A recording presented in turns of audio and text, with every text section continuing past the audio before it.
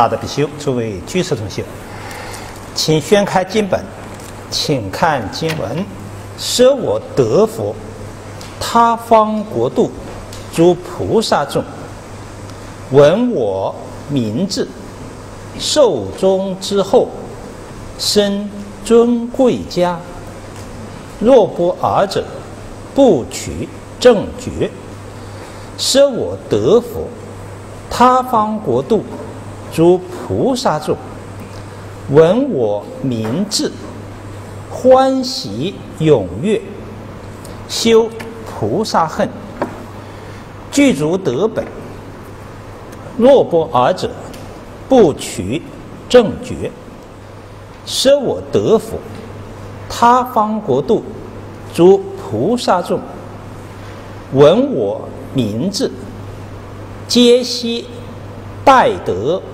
普等三昧，住是三昧，至于成佛，常见无量不可思议一切诸佛。若不尔者，不取正觉。舍我得佛，国中菩萨随其自愿，属于闻法，自然得闻。若不尔者，不取正觉。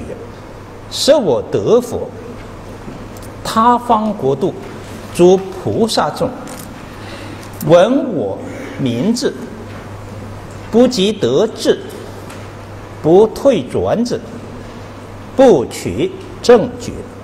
舍我得佛，他方国度诸菩萨众，闻我名字。不及得志，第一、第二、第三法忍，于诸佛法不能即得不退转者，不取正觉。第四十三愿，闻名深处尊贵愿。这一愿表达的意思就是，如果我成佛的时候。他方无量无边的国度，有无数的菩萨众，只要闻信我阿弥陀佛的名字，就能得一种利益。这种利益就是，他这一期生命终结之后，就下一生就能升到尊贵之家。如果这一愿。不能成就的话，就不取证据。这是法藏菩萨在因地考察他方世界，啊，有很多的菩萨从出发心啊开始修道，就有一种情况，就是常常不能生在尊贵之家，啊，尤其在性位。啊，或者外凡，从通途佛法来看，原教三贤位十住实行是回向，啊，有三贤位菩萨的福德智慧，他凭智力可以升到尊贵之家，但往往没有证到三贤位的这些菩萨，那他有可能升到贫贱之家。当一个人生存都没有基本保障的时候，呃，别说他要讲修自行化他的菩萨行，就是保持基本的道德都很难的。这个台湾一个法师真华法师，他写这个参学所谈呢，谈他参学的过程，看他的一生还是很很苦的。他就是四岁的时候，他的母亲由于家庭就是不和睦嘛，就是气得上吊了。他的父亲也是，呃，这个败家子啊，把一点家产都败掉了，然后就啊甩手就当兵去了。所以这个正华法师童年呢就成了孤儿了。过呢还幸好一个祖母还相依为命，然后他的祖母呢就在十一岁那一年呢又去世了，他就彻底的成了一个流浪者。本来开始寄存在他的叔父家，呃，叔父呢也有好几个子女，呃，他在那个家里也是觉得没有自己的任何的尊严和位置，他就干脆就出来流浪了。流浪就住在那个呃村里面有个火神庙，哦，荒废在那里，就呃夜晚就在那里住，白天呢。就基本上处在讨饭状态了，或者跟人家打打短工的，呃，这一家要做一天短工，那一家或者要放点牛，哎，他就是做这这些事情，但是基本生存都得不到保证，得不到保证呢，而且这些乡里的这些呃小孩子啊，都都欺负他，啊。欺负他，他有一天，呃，又有几个跟他一样大的呃小孩子，啊，就戏弄他、侮辱他，呃，他甚至要跟他们打架，呃，幸好他的力气还比较大，啊，打架他都能够镇住几个人，呃，这几个有点钱的家庭小孩子觉得打不过他，就想了个办法整他，其中有个小孩子说。就拿出二十文钱呢，说我一把镰刀呢，呃，掉在水井里面，你跟我这个呃把镰刀捞捞起来，我就给你二十文钱。哎，这个振华呢，觉得哎呀，是真是身上一文钱都没有。他想想这二十文钱呢，至少能够给他解决两天吃的问题。他想了想，就就答应了。答应了这这几个坏孩子，就把他领到井里。十一岁的男孩要爬到井下面，那个井水非常的冰冷，他就这个呃这个钻到水里面去找镰刀，那找了半个小时啊，终于把那把镰刀找上来了。找上来这样往上爬的时候，发现哎这个脚呢好像被一个什么缠到了。他以为是一般的泥鳅缠到了，但仔细一看不对，是一条蛇，水里面一条蛇把他脚缠到了，他一下子就很很慌很吃惊了，正幸好手手上有把镰刀，就赶紧把那个水蛇啊砍下去，但是他的脚已经被蛇咬伤了。所以他就啊非常恐惧，非常挣扎，从那个下面，呃井井下面爬上来了。爬上那个几个坏孩子实际上是逗他玩的，哪还给他钱？那一呃等他连到一早上来，井口上一个人都没有啊，人家都跑掉了。然后他自己被蛇咬伤了，只有自己一瘸一拐呀。甚至连连走带爬回到了他住的小庙破庙啊。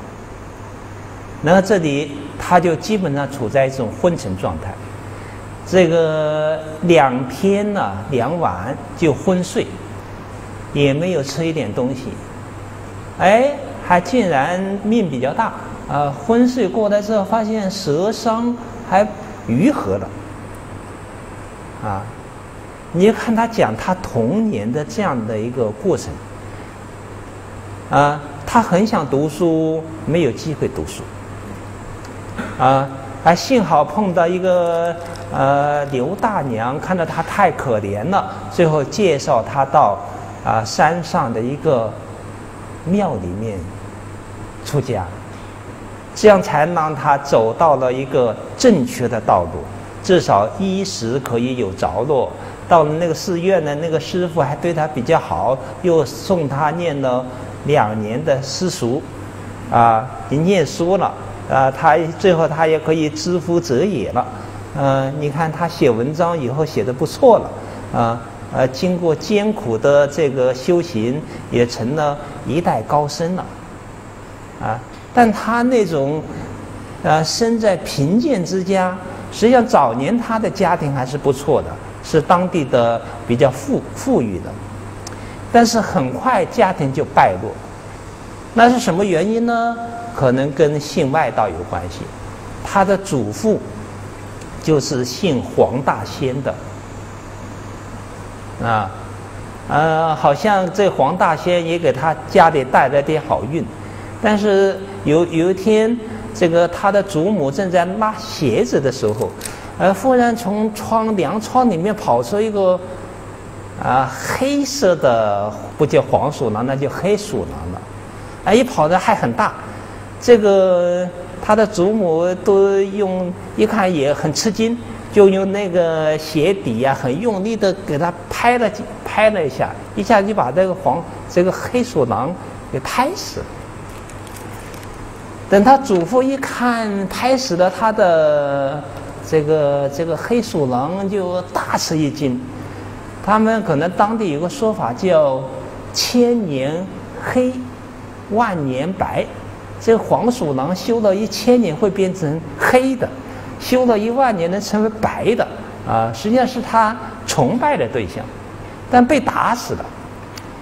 这被打死也可能一切法由心想生，他的祖父一下子就害怕自己。那果然很快家里就灾祸一个一个过来，家道败落啊。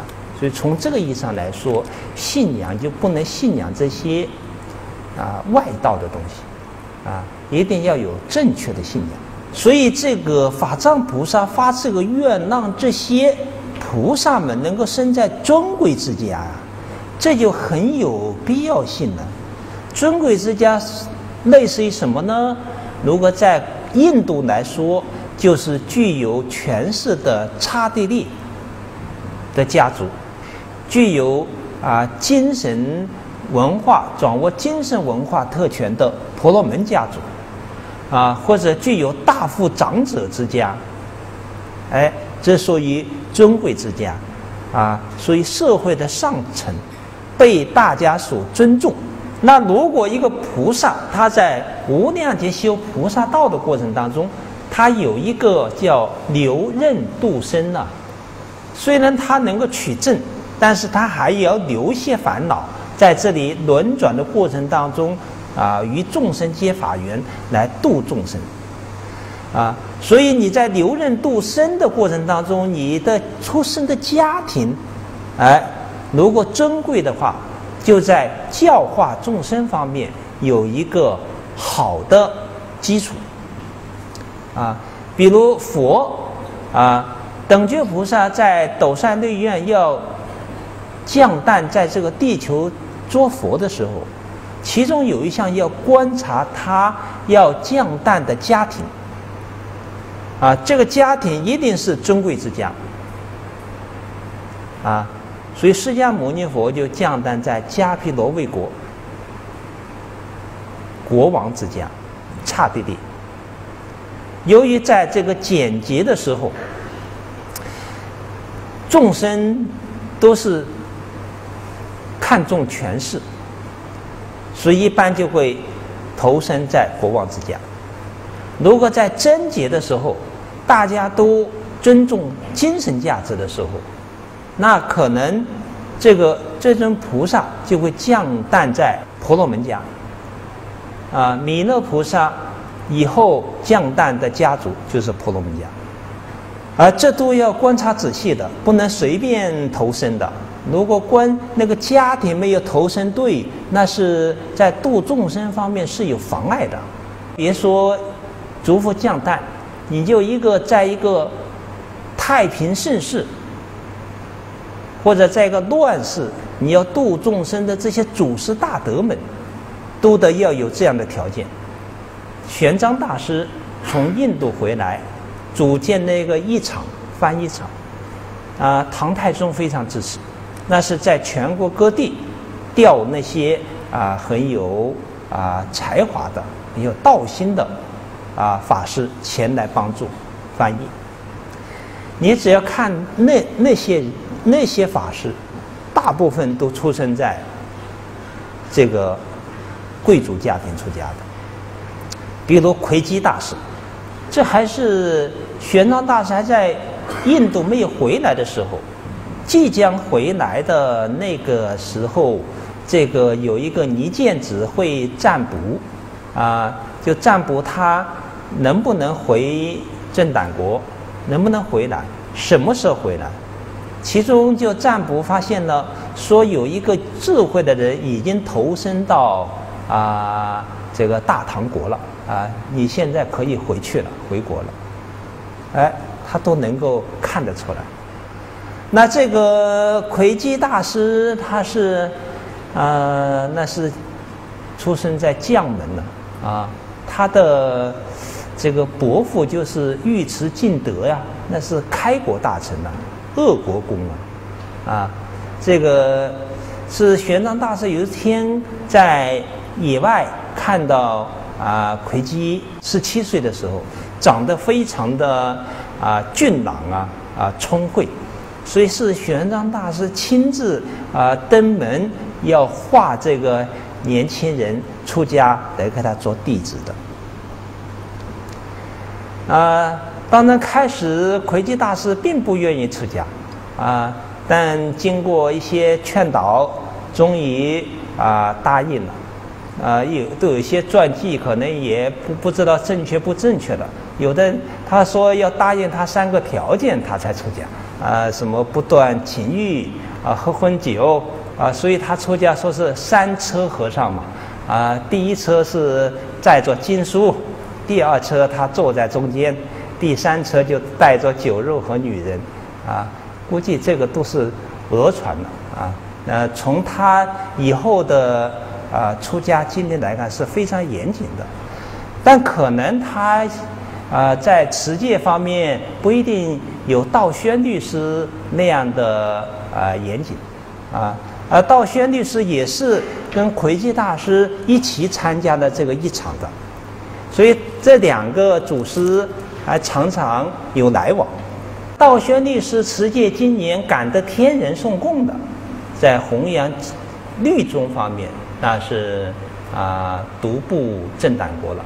呃，有一次这个玄回基大师去拜访道宣律师，天人没有准时送供过来，直到这个魁基大师离开了之后，这个天人才送供过来。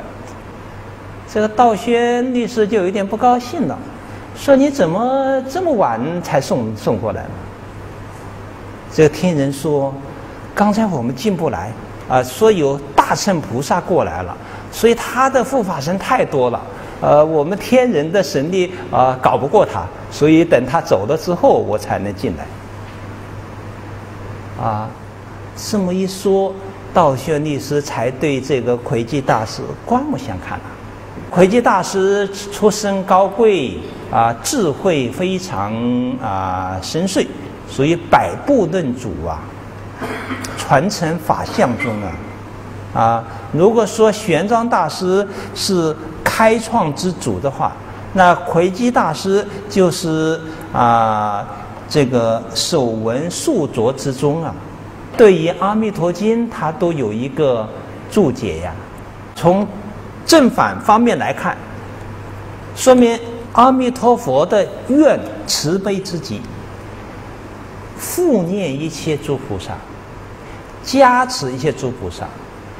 那这个名号当中就是福德之正，名号当中的福德就能加持他方国土诸菩萨，生生世世能升到尊贵之家。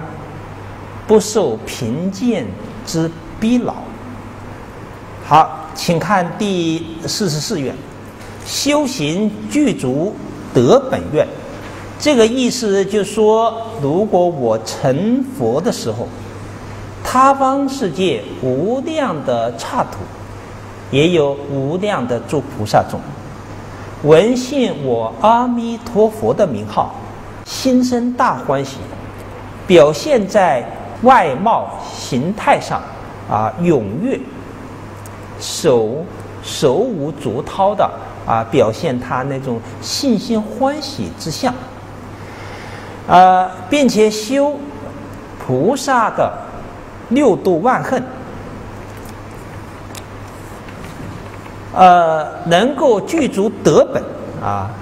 这个具足德本呢，从通途佛法来看，就是修六度啊。修六度是趋向无上正等正觉的根本。那从净土法门来看，这个信愿称名，一行三昧呀，信愿称名就一法界之行，他就能够以一法具足一切法。依法成就一切法的原原教的理念，来啊成为成就佛果之妙因。从这个意义上来说，能够支持万德洪名，也就是具足德本。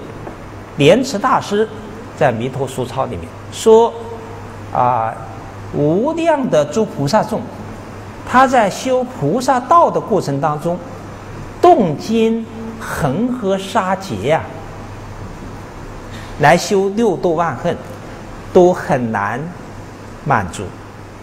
那现在闻信净土法门，一心念佛就具足六度，一心念佛万缘自舍即布施波罗蜜，一心念佛逐恶自止即持戒波罗蜜。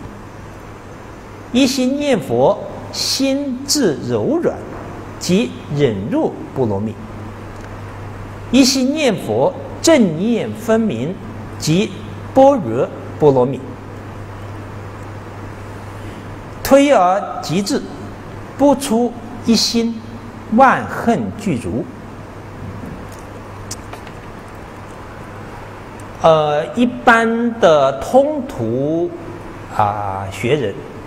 对莲师大师的这段话，他是会有种种质疑的，因为他是不了解一心念佛的功德，就认为你念念佛就能具足六度吗？那是不可能的事情呢。他是站在通途的立场来看，实际上并不了解净土法门的神妙之处。和圆顿的啊道理，莲池大师不是一般人，这段开示是非常的精辟的。如果不具足六度万恨，何能说是万德洪名呢？而在宗教实践修行当中，也确实就是这个道理。当我们一心一意在支持这句名号的时候，你心就清净了，就是戏园外面的五欲六尘，乃至细缘些世间处世间的一些善行，都舍掉了。那你可不是布施道家了吗？啊，连布施也得布施啊！啊，这就是禅宗有位大德庞居士，他家里万贯家财，都把他。装到船上，啊，这个到江中心把这个船啊凿穿，然后沉到江底。那人家就问你为什么不拿这么多财产去做善事呢？啊，那这彭居士是一个开悟掉的人呢，他就觉得好事不如无事啊，啊，连布施也布施也给他布施掉啊。那就清净至极呀，所以他就全家人都是修行很很到位的，啊，就是种点地啊，这个妻子女儿就织点鞋子啊，去换换点生存的东西就够了，万般家财都不要，啊，所以万缘自舍啊。真正这个世间都是梦幻泡影的事情啊！不要有太有为的心了。真的，你要布施清净了，三轮体空了，这在你啊真为生死一心念佛当中才能得到。然后你一心念佛，摄心念佛啊，你这个妄念、恶念都没有，那身口其实也不会造恶，这可不是持戒波罗蜜。你一心念佛，佛号当中的慈悲的慈悲光。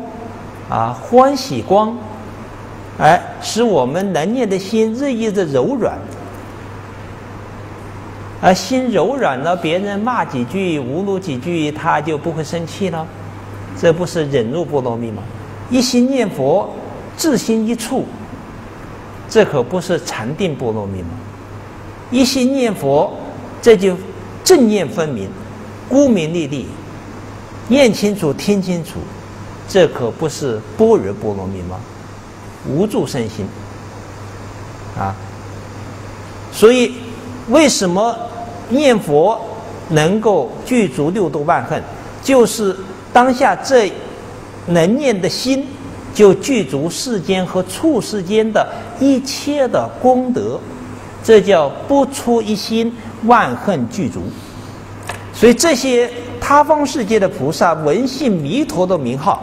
他就知道这个弥陀名号的甚深的功德，他才心生大欢喜啊，欢喜踊跃。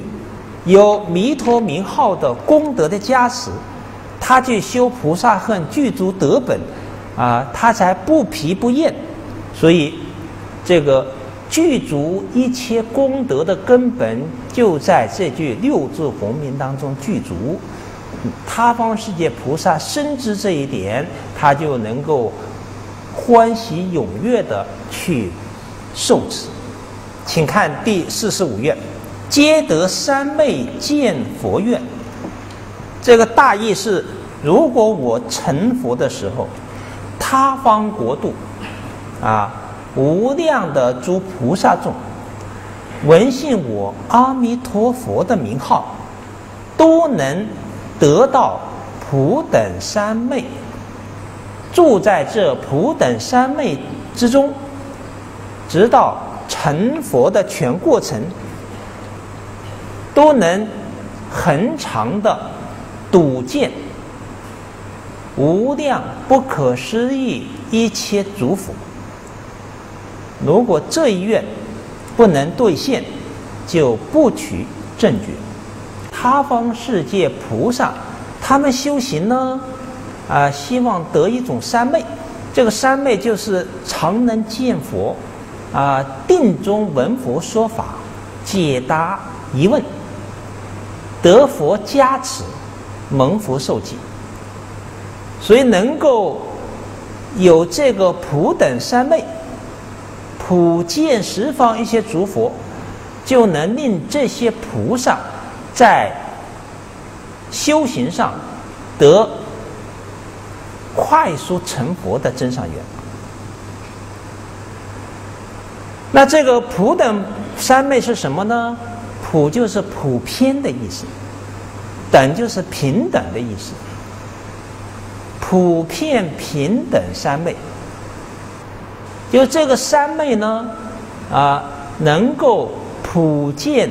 一切净土和秽土的主佛，这个三昧的来源就是只要闻信我的名号，你都能得到这个普等三昧。在这个三昧当中，就能见佛。我们啊，就能思维这个慧远大师和莲社的其他的莲友。在那个时候修念佛三昧的时候，就有不少有定中见佛的体验。那慧远大师有个三次定中见佛的宗教体验，他对于这个定中见佛还有一些疑问，就曾经请问过鸠摩罗什大师。慧远大师曾经向鸠摩罗什。大师请问了十八个问题，这十八个问题都应该是很啊高端的啊顶端的心性哲学上的问题，也是修行上的问题。这个这一问就出在第十一问，就是谈念佛三昧定中见佛的问题。因为《般舟三昧经》谈到三昧见佛，就好像类似于梦中所见。慧远大师根据这个就有一个疑问，说我定中定中见佛，如果是像梦一样的，那梦是自己的想心所成。那这个定中之佛是我想啊想出来的产物，那还是出于我这一边。但如果是这个佛是定外的佛，如果从外面来，就不能说是他梦中啊之佛了。完全从外面来，又跟又好像这是啊心外有佛了。所以这个到底怎么去理解这个问题？鸠摩罗什大师回答：这个念佛三昧有三种情况，一种是菩萨得神通，自得神通可以自己飞到他方世界的佛刹去见佛啊，请法啊，断疑。那显然这不是属于慧远大师的情况了。那第二种情况就是没有现前得神通，他由于常念佛，啊，这个佛可以可以说啊有几种念佛的方法，啊啊四种念佛，只要其中一种他能够细心一处得三昧，即得见佛。这大概就属于慧远大师所请问的这个问题了。这个见的佛也不是一个虚妄的东西，不是自己妄想出来的。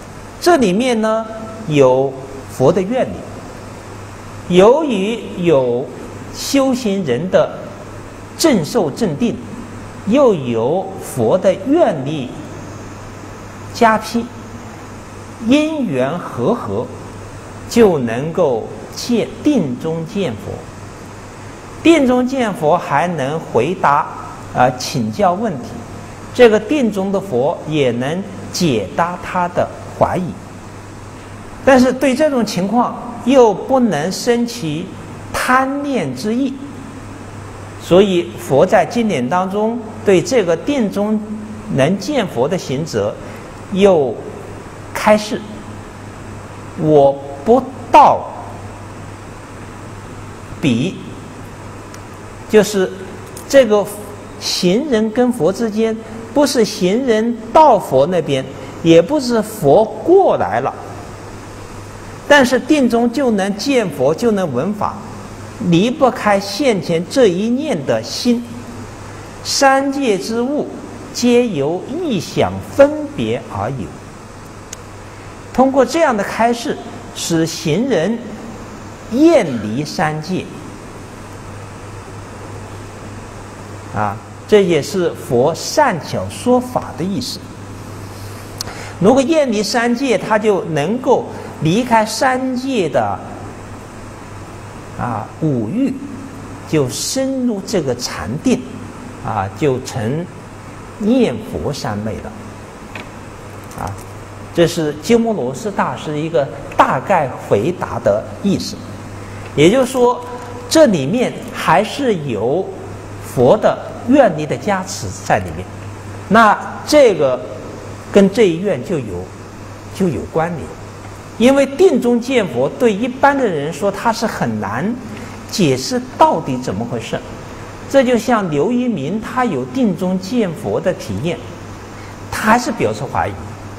这个定中见佛，你说这个佛是真的还是假的呢？所以他对一个这个真假呢，他都要去验证一下，所以他就动个念头：如果你真的是阿弥陀佛的话，能不能你用你的手啊摸下我的头？他为什么要动这个念头？因为他还是觉得这个佛到底是什么，还是搞不清楚。啊，如果你在墙壁上看那个佛画像、佛佛像，你跟他去讲话，他也不一定能够回应。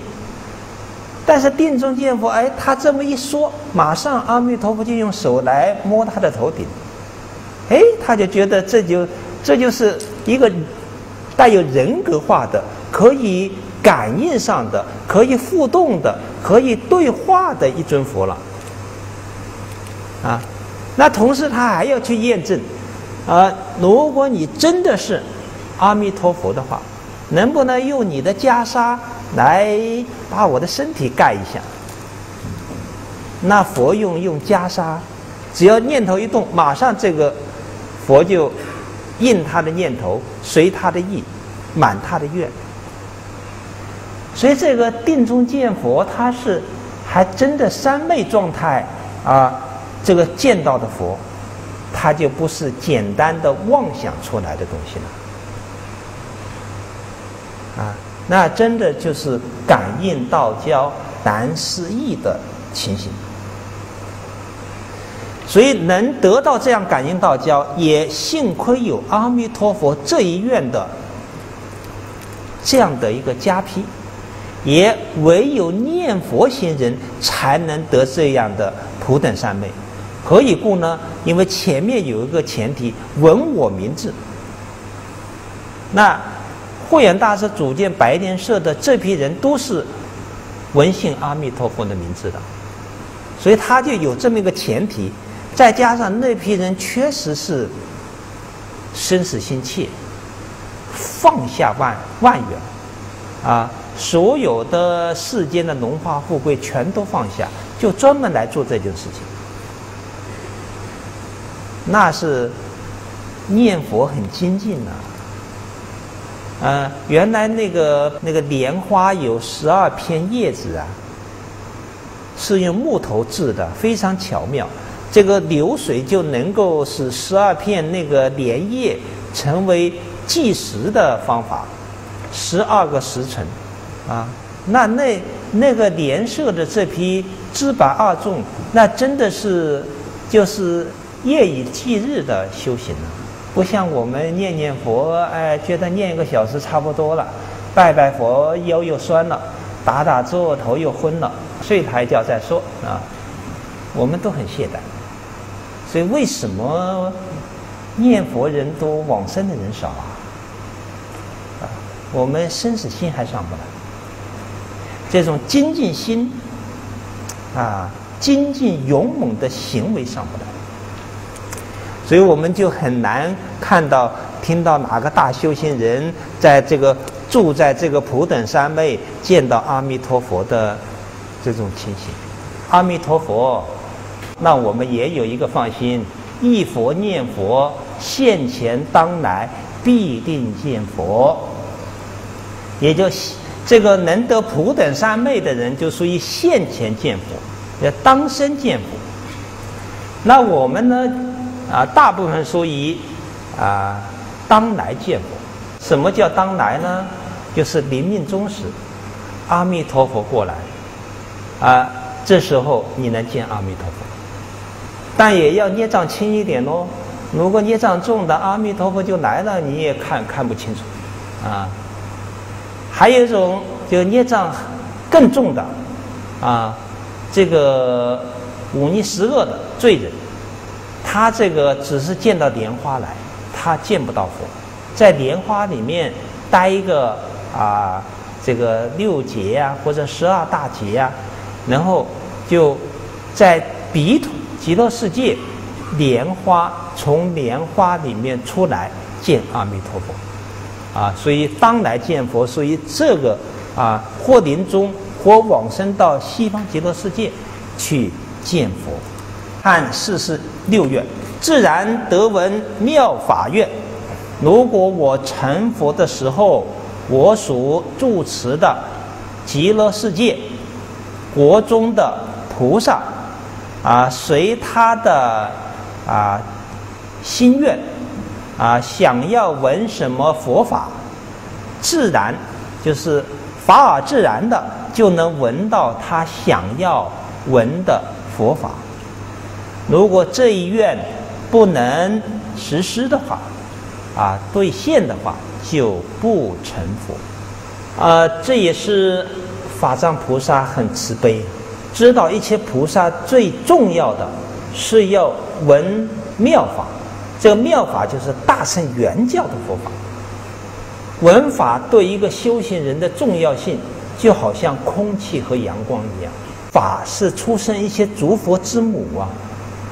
那一个菩萨成佛之后，他是无上士，没有比他更啊更有智慧的，他都要拜师，就是以法为师。但一个菩萨在修行的过程当中，闻法有时候不容易哦。释迦牟尼佛讲，他因地当中，他为了办济就要舍身了。说他有一次在无佛的时代，啊，佛已经灭度了。佛灭度之后，一般的佛法里面的菩萨们修行就在外道修行。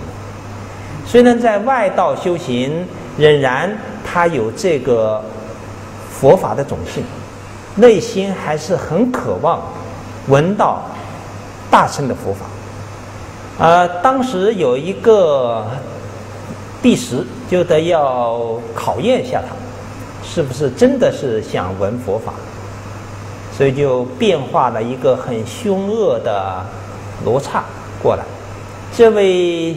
仙人啊，在雪山修行，这个罗刹就在他不远的地方说了一个句子：“足行无常，是生灭法。”哎，这个仙人一听，马上内心震撼，也许他就有这个善根了，似曾相识啊！哎，这是佛法呀，啊！所以睁开眼睛，这个声音从哪来呀？呃，看了半天才发现一个很长相非常凶恶的罗刹，他就怀疑这个能讲出这个佛法的人应该是长相端正的人呢。这么凶恶的罗刹，他能讲这么能讲出佛法？但是，一看没有其他的发出声音的众生了，那只有他呀。所以，就向这位罗刹顶礼。呃，你这么无上的法位。啊，我听得很欢喜。我希望你能够把下面的那个半句给我宣说出来。这个罗刹知道这个句子的价值了，他就谈条件了。我现在很饿了，啊，也说不出来了。现在我都要吃东西。这个仙人就说：“无论是什么，我都给你搞来。”他说：“我要吃的是人的热肉和人的热血。”这一说，这个仙人一看到其他地方找找不到，那只有自己现身了。他就跟罗刹说：“好，我可以提供给你，但你必须要先跟我说啊。”这个罗刹说：“如果我跟你说你不贡献给我，那怎么办呢？”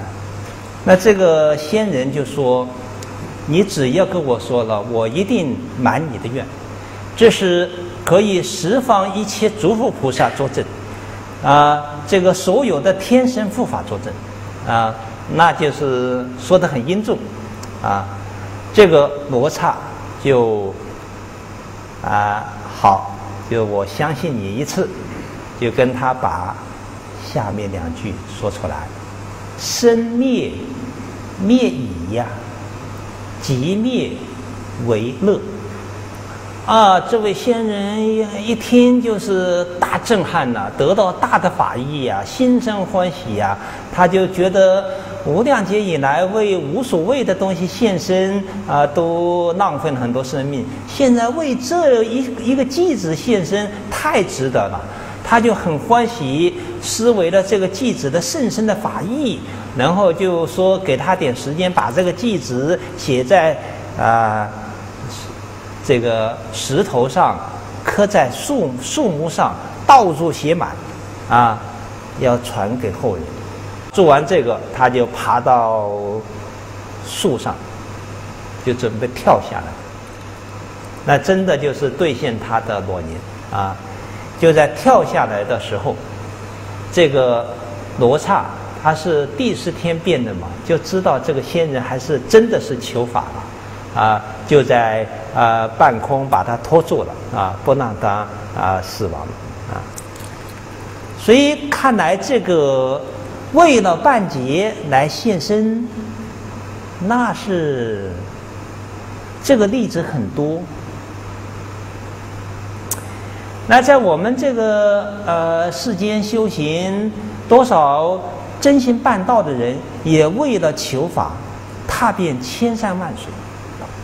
你看那个一梦万年建岳律师啊，他是从云南行脚啊，啊求法呀，行程两万多里呀，非常辛劳啊。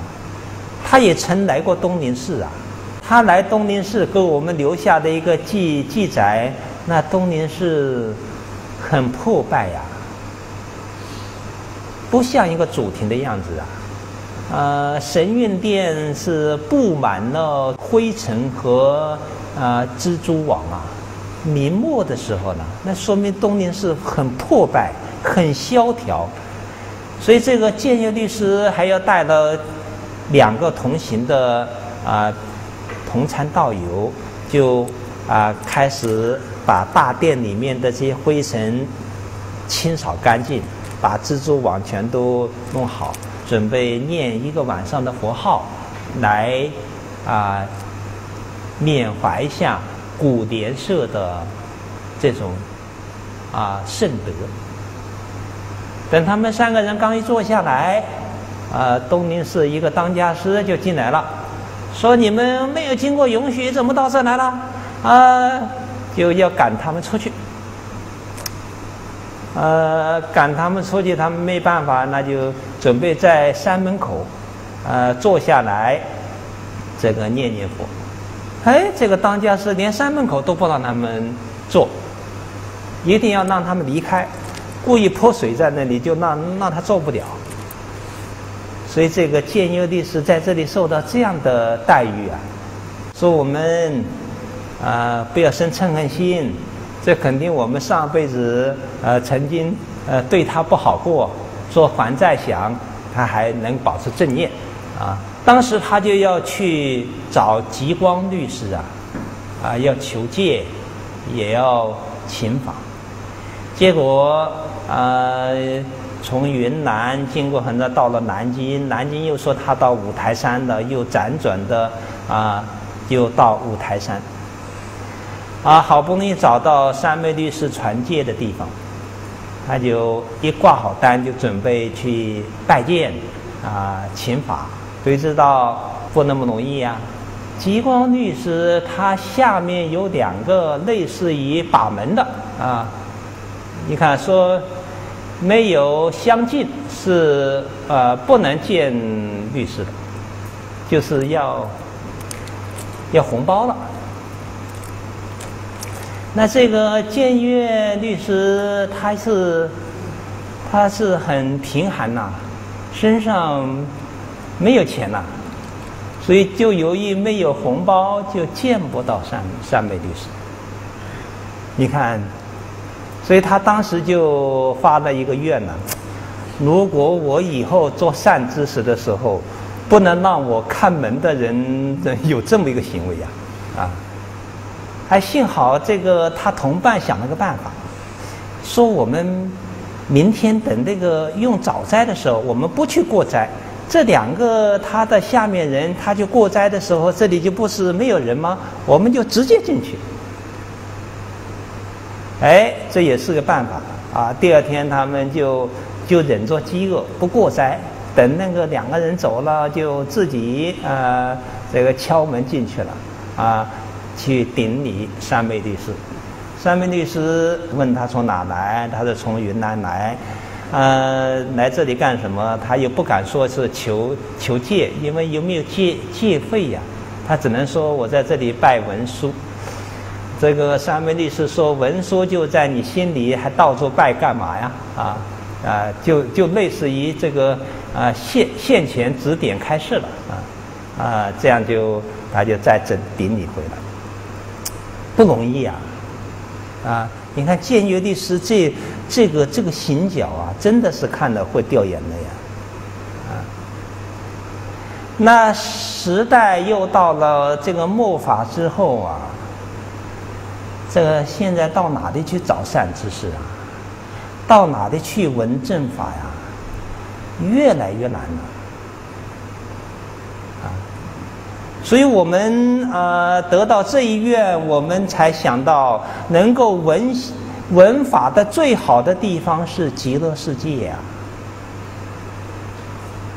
呃，那个闻法呢很自在呀。极乐世界，第一能讲法的不仅是阿弥陀佛、观音世子。这些足上善人都能讲甚深的佛法，不仅是正报的啊，这些佛菩萨能讲，这个医报也能讲法，所以极乐世界的那个八功德水，它的水水和水的波及的声音，就能讲经说法。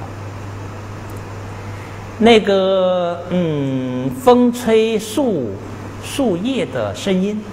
就能讲经说法，呃，虚空的乐器啊，就能讲经说法，乃至于从七宝池摩尼珠的光明当中显现的百宝生鸟，这些孔雀、鹦鹉、家庭贫血共鸣治疗，都能讲经说法。啊，这个情义无情都能讲经说法，这就很自在了。这也是阿弥陀佛发愿很细致。呃，有的往生者他可能就希望自在一点闻法，如果是佛在面前呃讲法，他又很啊坐得很端正啊，这个不敢的。如果在鸟。一一只鸟在呃面前说法，它可能呃姿态稍微自呃自由一点，它也觉得自在一点，是吧？呃，如果无情的这些呃来说法，它可能就更自在一点，他可能在坚行状态当中，他就能够闻法，而且是自然得闻。自然得闻呢，就是法尔自然的，你想闻，马上这个。音声就出来。那在他方世界，你你不是自然就能闻的啊！你要请法，请过来以后，还得要有隆重的仪式，还有道程序啊！因为这个程序是表明恭敬心了啊！在他方世界是这样做，但极乐世界你就是没没有这套仪轨，你只要想听，马上声音出来。而且你不想听，就极耳无声，他很自在。如果说极乐世界是到处都讲经说法，都是音声，如果不想听的时候，这个声音还在这个耳边，他也不舒服啊，不自在呀。那种人都应该有个主动性的，主动选择的自由就好。如果被听法，他也是难受啊。所以这个自然得闻，想闻就你就能闻，啊，而且闻的这个佛法很对机，藏通别圆三十七道品，西方极乐世界所有的佛法都能说，一闻法很对机，哎，那就是能够对治烦恼，能够开发智慧。能够增上啊正果的这个速度啊，引发自信的如来宝藏。那这个这些啊无情说法，或者阿弥陀佛变化各种鸟在讲经说法，也属于阿弥陀佛施舍啊。这个讲法的世悉谈利益，那为什么会变化这些鸟呢？是由于这他方世界的众生还有习气，他喜欢这些鸟。呃，众生喜欢溜溜鸟啊，啊，喜欢这些孔雀、鹦鹉、嘉陵平这些共鸣之鸟，就随顺着你的喜欢，哎，变化这些鸟，这叫世界习谈。随着你的喜欢，变化你喜欢的东西，让你生欢喜意。啊，等你欢喜了，那么这个佛，这个鸟在说法，又能产生这个为人戏谈。为人戏谈是生起善。啊，这个鸟在啊讲种种法，能令往生者升起念佛、念法、念僧的善心。啊，它就是这叫为人戏谈，生善意。呃，同时再看到这个鸟啊，鸟都能说法，对治分别心。一般的人认为我比鸟要要高级，现在发现鸟呢比自己还高明，啊，它都能讲种种种自己不知道的法，哎，这样就对治分别下列心，这就是。叫对峙细谈，啊，然后进一步的思维，这个鸟能讲经说法，这个鸟就是阿弥陀佛的法身，啊，所以鸟、阿弥陀佛和自己平等不二，啊，这就是第一义谛西谈，如理一，啊，正如到真真如法法性的利益。阿弥陀佛施设这些啊讲经说法的手段，一一具足着世悉谈的利益。所以，那那个那都是大善之时啊，啊，那都能让我们啊这个得到甚深的法力。这也就是西方极乐世界能够快速成佛的一个重。重要的啊真上愿，四十七愿，即得不退转愿。这一愿的意思就是，如果我成佛的时候，他方是世界无量的菩萨众闻信我阿弥陀佛的名字，就能得到不退转位。如果这一愿，不能兑现，就不取正觉。这个记得，记就是不隔时啊，很快就能得到。这个不退转，就是阿毗跋致。有时候是讲三不退，阿毗跋致三不退，首先是位不退。正到圣位，不退到凡夫位；行不退，修大乘菩萨行，不堕到声闻位；念不退，念念与一切种子相应。如果再加上毕竟不退，就是只要闻信弥陀的名号，不仅是你相信还是不相信，是赞叹。还是诽谤啊，终究都能得解脱。如如金刚种子布在内心，这叫毕竟不退。那从大乘通途佛法来看，这个一个菩萨想得到阿毗跋致位啊，是非常不容易的。啊，不退转位，在通途佛法来说，至少你要得到原教初住的位置，也就是破一品无名，你才能够说阿毗跋致。如果你在实性位，那都叫青毛菩萨，容易退转。那这个阿毗跋致的相状，你看就有菩萨大菩萨的那那种样子出来了。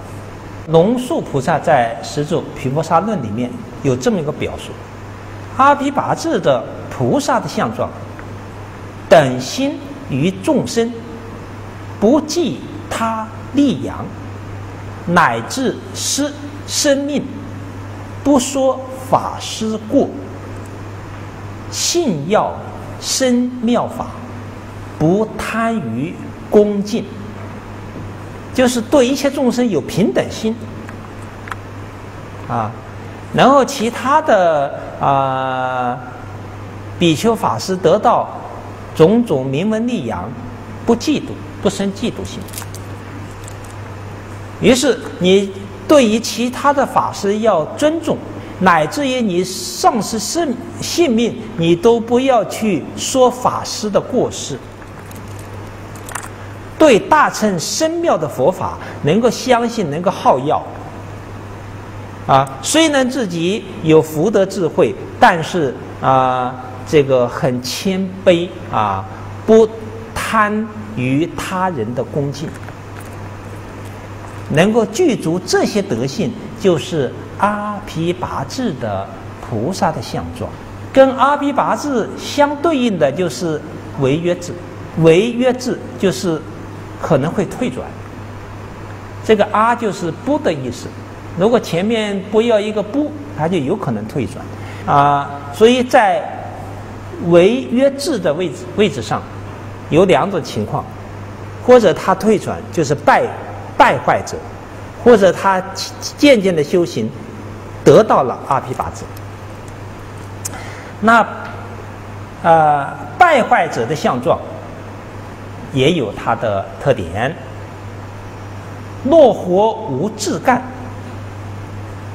好妖下跌法，身着名利养，其身不端直，令度于他家，不信妖空法。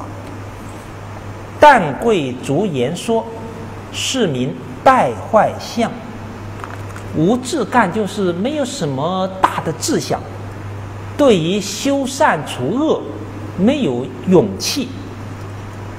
好妖下跌法，对那种二乘法以及外道的一些东西，他很好妖，啊，就类似于有些呃本来是信佛的。啊，结果一听法轮功怎么样啊，又觉得好，他就修法轮功了啊，类似于这样的，好妖下地方，啊，对这些名闻利养很很贪念，很执着，内心是机心用事，不是正直心。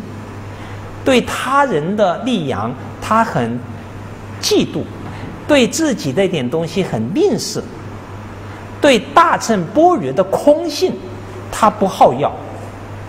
啊，呃，只是喜欢那些啊这些名相概念啊说啊言说方面的东西，不是真实的在心地上下功夫啊，这些都是败坏之相，不能成为阿维约子。所以这个一个菩萨动经无量劫才能得到阿维约子，很不容易。所以法藏菩萨在这发愿，只要闻信我的名号，就能得到阿维约智。这是指他自己还在他方世界修圣道门，通读佛法，也能加持他得不退转位。如果这些菩萨当下他就到西方极乐世界去，那都是阿毗跋致菩萨。那不仅是菩萨一句是阿毗跋致，就是。五欲啊，这个五五逆十恶的众生，下品下生的众生，一到西方极乐世界去，都平等的都是阿毗跋致菩萨啊。第四十八愿，积德足人究竟愿。这愿的大意就是，如果我成佛的时候。他方世界无量的诸菩萨众，闻信我阿弥陀佛的名字，就能得到三种人啊。第一第二、第三法忍啊，呃，并且于诸佛法啊，就大乘深妙佛法都能啊得到不退转。如果这一愿不能兑现的话，就不成正觉。这一愿也是加持他方世界的菩萨修圣道门的。而记得，也就是你只要闻信我的名字，记就是当下不搁时就能圆满具足。所以这个闻信阿弥陀佛的名号的功德，实在是很不可思议的。他并没有讲要修多少行，完全是你名闻信名号。就能得到这个功德的。第一是讲三种忍，这个忍就是慧心安住的意思。啊，这个人所以以智慧作为他的体性，安住在某种境界当中。啊，从后面的经文来看，这个三种忍就是：第一是音响忍，第二是柔顺忍，第三是无生法忍。呃，《华严经》有十人品，啊，就是菩萨摩诃萨能证到十种人，所以这三种人属于前面的啊十人当中的前前三个。首先来看音响人，音响人在十人品当中是分了两个，一个叫音声人，一种是卢响。人，针对我们娑婆世界的众生来说，这个耳根最利，所以一般都是讲经说法以音声做佛事。那如果闻信佛讲的这些身教能够信受、接纳、儒教修行，这就是音声人。进一步讲音响人。就是对这个音声要有般若空性的理解，就是慧心认可这个音声就像空谷回响一样。这个响就是那个峡谷，你一种声音过去，它的回音就是那个响。这个响呢？你能听到，但是它没有实体，所以对这个音响人，你要了解音声的啊实质空性，所以对它无取无舍，随顺音声的成成缘，这个音声也是缘起缘生之法，只要缘生之法就本无自性，啊，迁入它的。空的实相里面，对这样的音响的实相，你能会心认可，这就叫音响人。这可能还在散心位里面啊。进一步柔顺人，就是在禅定状态当中啊，这个心就柔顺了，柔顺就随顺自信。随顺自信，升起一种智慧的关照，观一切法，即空，即假，即中，又能随顺真谛和熟谛。啊，真谛是谈空性的，熟地是谈缘起法的。啊，这个空有不二呀，空有一炉啊，商照两边。伤遮两边，这就是在修平等观。啊，在这个柔顺人当中，一则随顺自己的法性，二则在度众生的过程当中恒顺一切众生，这样就叫柔顺人。第三呢，就是无生法忍，这个境界就很高妙了。无生就是不生，不生就不灭。这个不生不灭，就是诸法的实相，就是一切众一切诸佛所证的法身啊。那你能够慧生慧心仍可在不生不灭的法性或者涅盘上，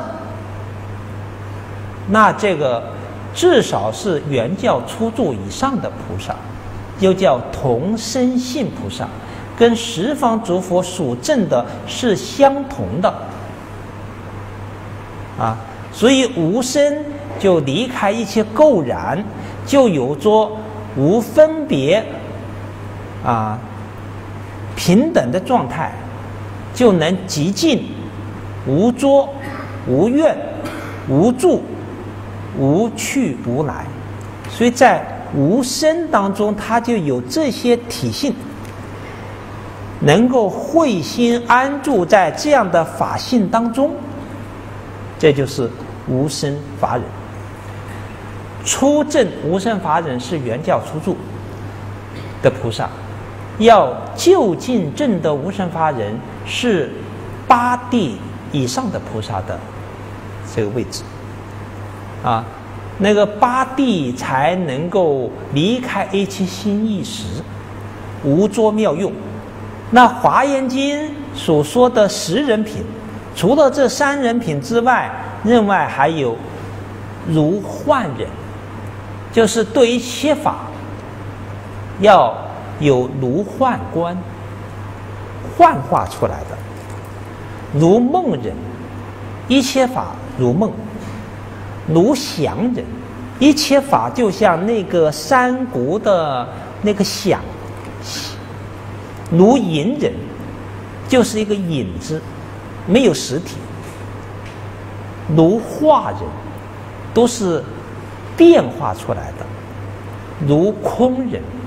就是对这个空性十八空的一个关照，从中来看，这些他方世界诸菩萨得三种人，其实也包含着得十种人的内涵在里面。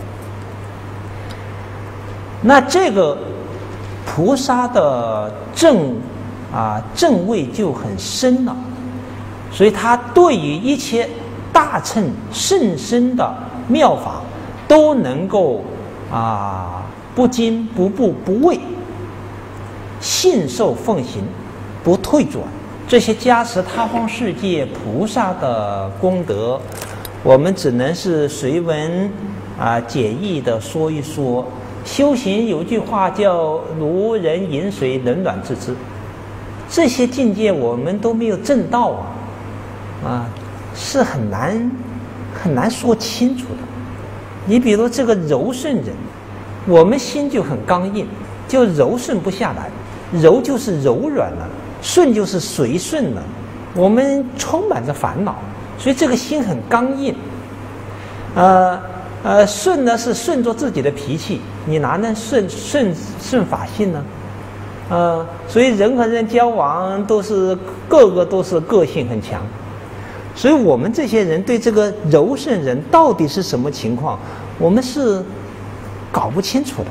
比如他对内随顺寂静的自信，我们只要念念佛，向向里面看一看，其实我们惭愧心就会升起来。我们里面太喧闹了，一点都不寂静呐。啊，那些妄想杂念，这个来了又去，去了又又来呀，啊，挥之不去呀，不招自来呀，也不知道会有这么多妄想杂念，所以你就感觉到内心很很喧闹，很喧闹，都是我们无名的夜思的心呐。这种根本无名，知一知莫无名的，我们内心真的是长夜漫漫，非常黑暗呐。中门下叫黑漆桶啊，一点光亮都没有。幸亏还有个佛号啊。如果说我们不念，你面对黑漆漆的内心，你你怎么弄啊？你下手都很难呐。所以为什么走通途难行道很难走得通啊？啊，这是不能说大话的，啊，应该要有自知之明的，啊，所以我们还是老实去念佛。哎，你无论是你进行还是打坐，你都打出这个名号。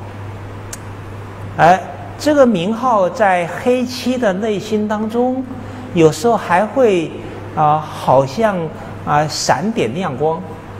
我们能知道我们妄想杂念纷飞，还幸好这句名号给我们一点光亮。我知道我自己妄想很多，而且还啊分析是什么妄想。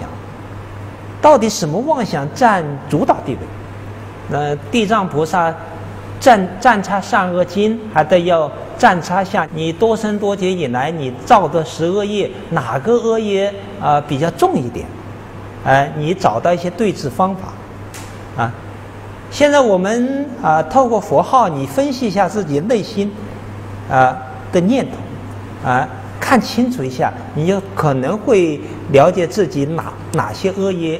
会多一些，然后侧重在哪方面再对峙一下。但是这句佛号有时候又被妄想杂念冲跑了，把不住，这就更困难了。如果内心深处没有这句佛号在那里，那我们的修行那是永远永远得不到结果的。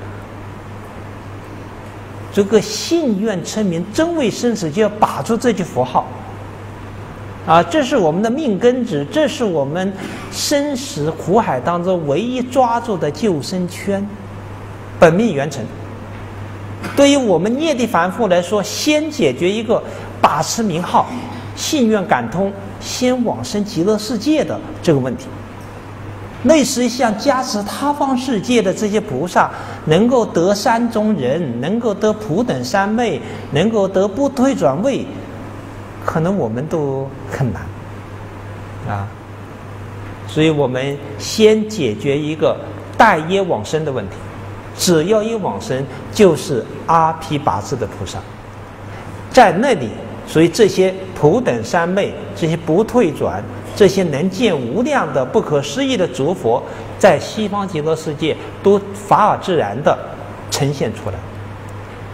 所以，对我们来说，啊，讨论这几愿得到的一个启示，就是一定要成就往生这一愿。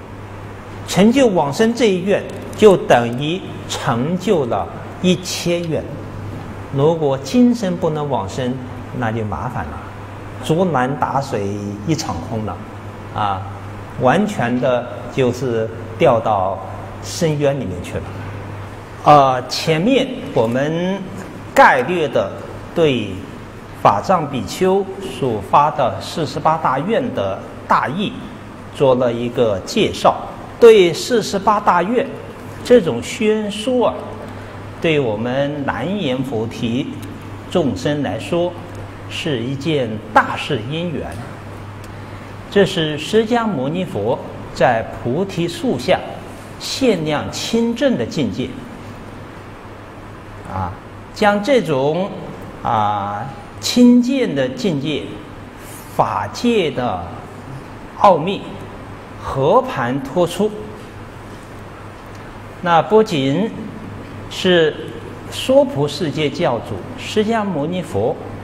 来称扬赞叹四十八大愿，乃至十方世界无量的诸佛，都在自己所住持的法土，要宣讲四十八大愿。何以故呢？是由于这四十八大愿是与十方三世一切诸佛。心心相同啊，是惠于众生真实之力的一个大事。这个真实之力，就是令九法界众生离两种生死之苦，切证大乘涅盘常乐我净之真乐。那是是十方诸佛的同一的本怀，而法藏菩萨透过四十八大愿，把这种啊诸佛的本怀彰显的淋漓尽致。所以十方诸佛都会在自己的刹土来宣讲四十八大愿。那从四十八大愿，我们来看它的基本的特点。啊，第一个可以反映四十八大愿是法藏菩萨大慈悲心的大菩提心的结晶。一个菩萨要从初发心到圆成佛果，它的内在的推动力就是菩提心。这个菩提心首先要切证诸法的空相，从这个空性当中升华出无缘大慈、同体大悲的心，由这个大慈悲心延伸出。拯救众生的大愿，所以从这个四十八大愿来看，悲以拔苦啊！你看第一愿、第二愿，国中无三恶道愿，啊，这个永不堕三恶道愿，都这是都从大悲心出发，慈以娱乐，大慈心给予众生的快乐。只要往生，就有佛的相好光明、六种神通、种种辩才、转女成男啊等等，这些都是慈以娱乐。菩提心有慈悲，也有智慧啊。这个智慧有切正诸法的这种根本智，也有从根本智流现出来的方便智。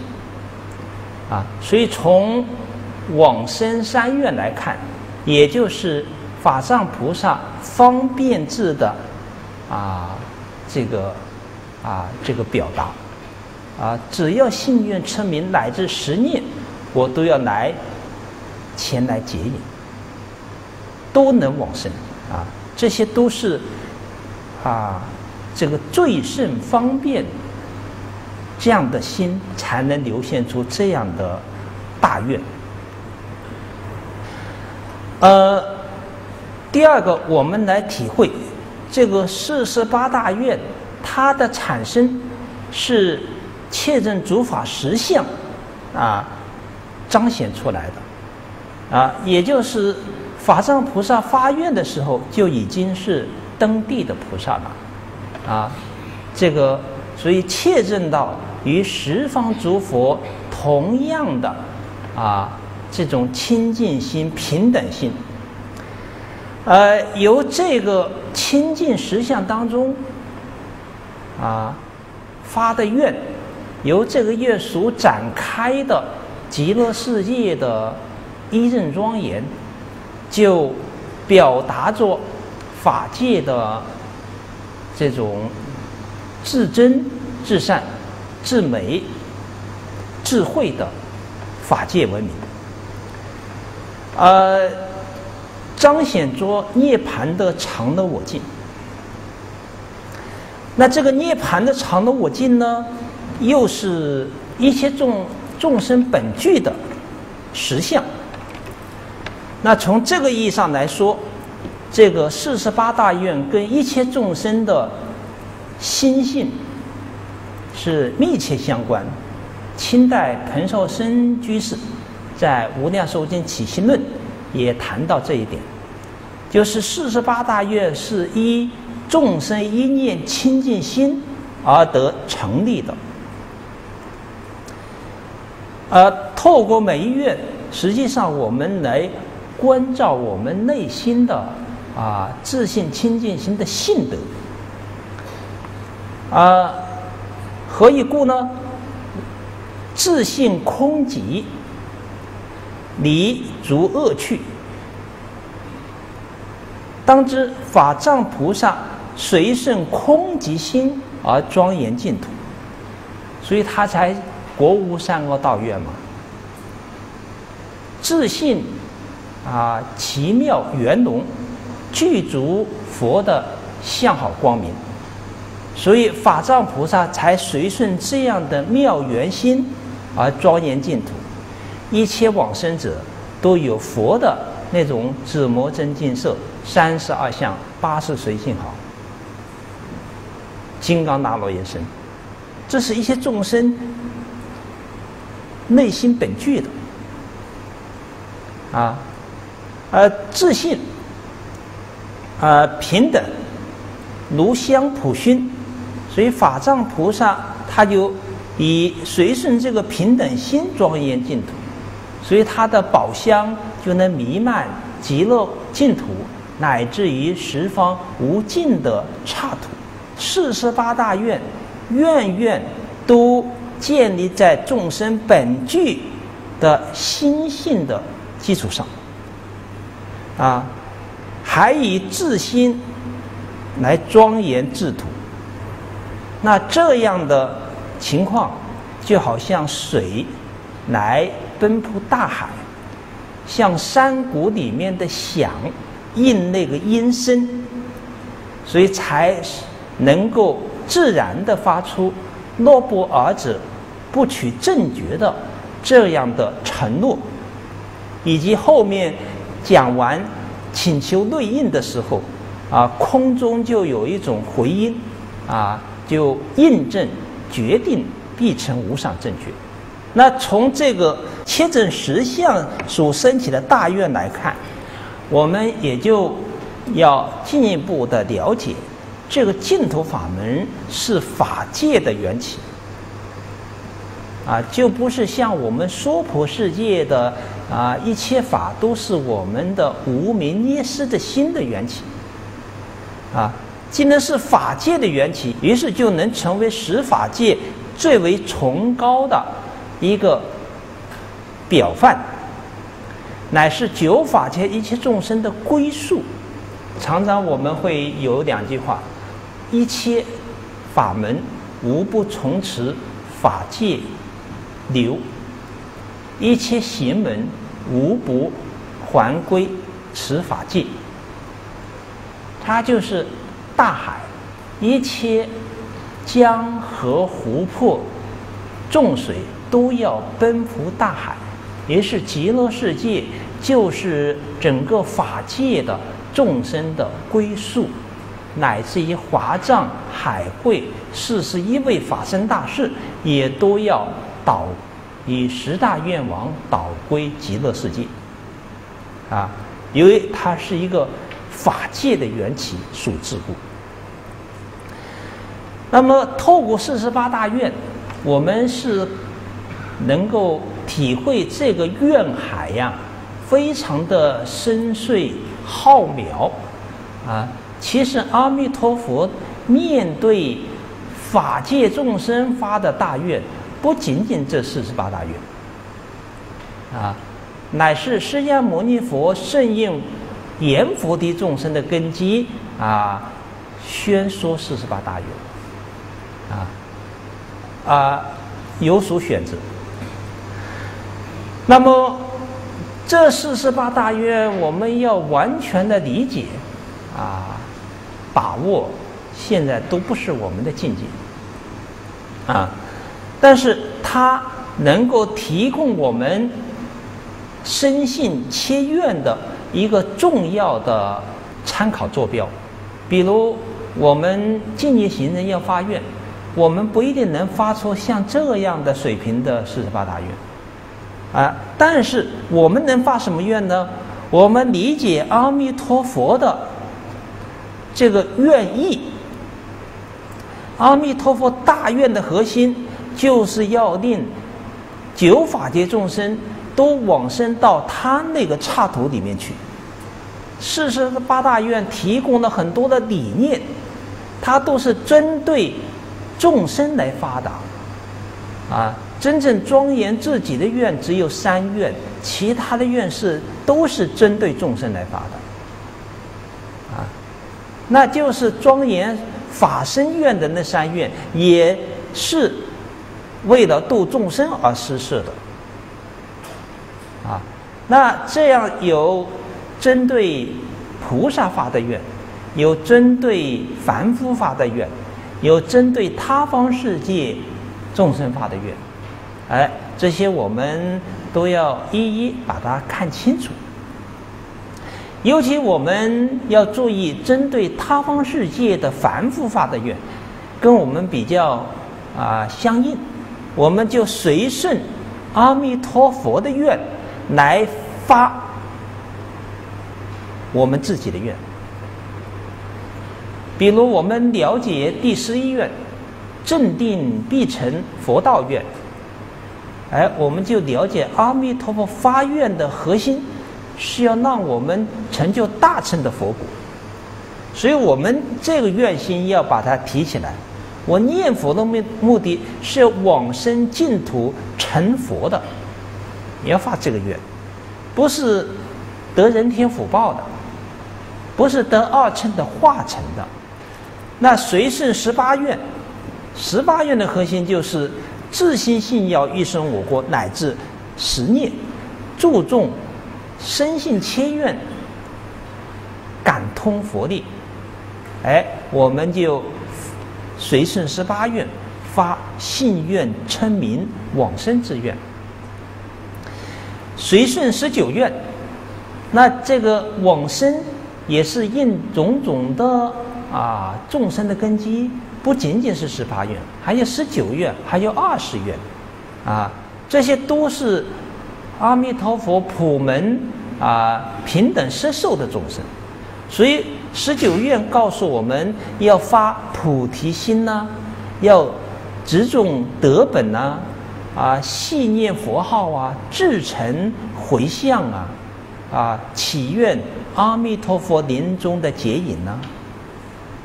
哎，我们也发这个愿，啊，啊，随顺啊二十二愿啊，这个菩萨一生补处愿。啊，他这个一生补处就讲到，你到西方极乐世界去，你还可以到他方世界去度众生，啊，这就是往向回向，现前修修习普贤十大愿王的这个愿，有时候叫我们自己发愿，我们不知道怎么发，啊，内心很空茫。哎，现在我们就随顺阿弥陀佛的大愿之意来发我们的愿，啊，以我等众生的愿感通阿弥陀佛的愿力，我们敬业才能成就。